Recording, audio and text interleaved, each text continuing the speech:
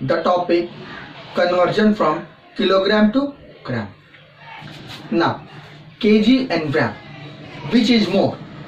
kg and gram, what is more? Which is bigger value? We have to know first. This is kg and this is gram.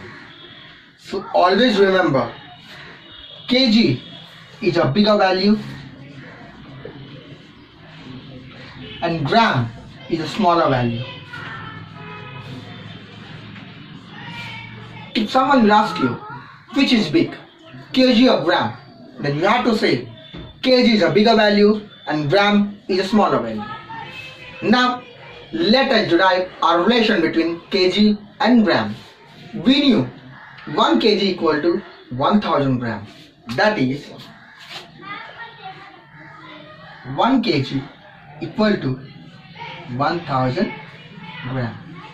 This you have to remember. It's very important. You have to remember 1 kg equal to 1000 gram. Now there are some questions which I'm writing on the board. You have to tell me the answers. Here is a question.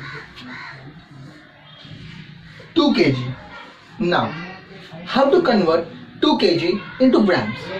First, 2 kg into grams. That is 2 into 1000.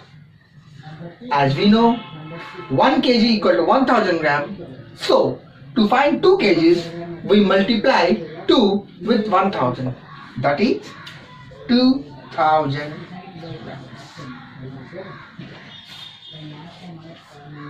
Understood?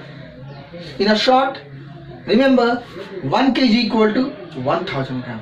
Remember 1 kg equal to 1000 gram. If someone asks you about 2 kg or 3 kg or 4 kg, what you have to do? You have to just multiply the given question with 1000.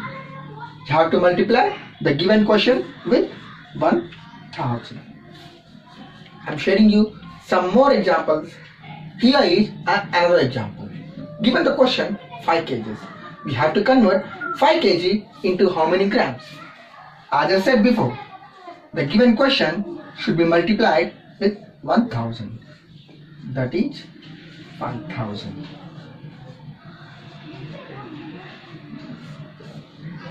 That's it. So simple. Now we are going to discuss about how to convert from gram to kg. Till now we have learned how to convert from kg to gram. Now we are going to learn how to convert from gram to kg. So basically I have told that 1 kg equal to 1000. I have told you 1 kg equal to 1000 gram. This you have to remember. From this equation I can write 1 gram equal to 1 by 1000 kg. Remember 1 gram equal to 1 by 1000 kg. These two are the basic things that you should remember. Here's a question for you.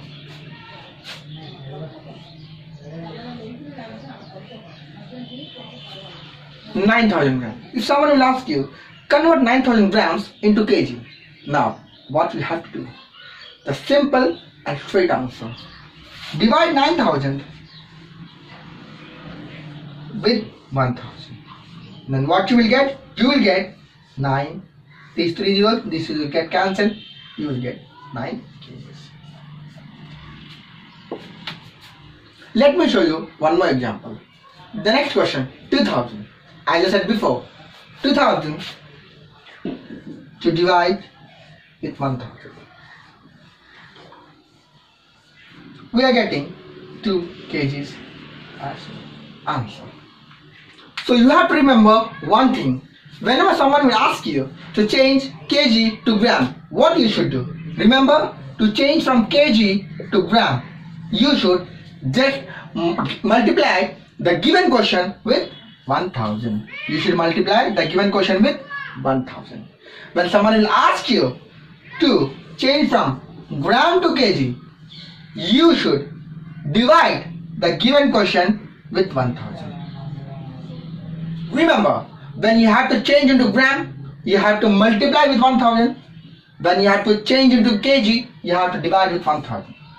Remember this point, it's very important. If you like this video, like, share and subscribe to my channel.